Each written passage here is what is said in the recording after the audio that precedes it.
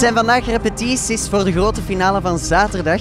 En op dit moment is Blanche aan het repeteren en blijkbaar heeft ze nog iets heel belangrijks te vertellen.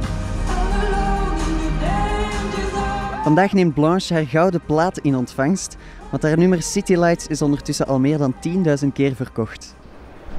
Tof hè?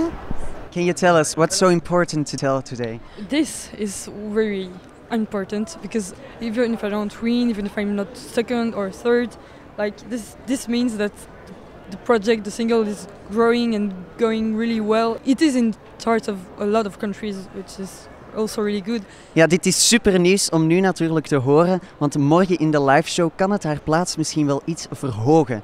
Laten we het gewoon allemaal hopen. I think it's going to be really good because I feel more relaxed than before and I really want to win. But if I don't, it's not a problem. Top 5, top 3, top 10, it's really good too. So.